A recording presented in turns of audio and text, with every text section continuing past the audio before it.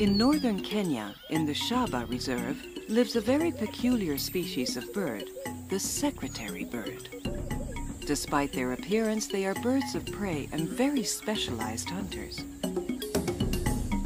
There is very little rain in Shaba, but when it reappears, the savanna immediately recovers. The yellow quickly turns to green, and there are a lot of things to be done. Gathering material and preparing the home for starters.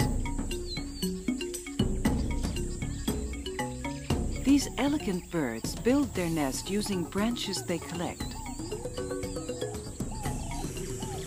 Though they both work, collection is above all the responsibility of the male.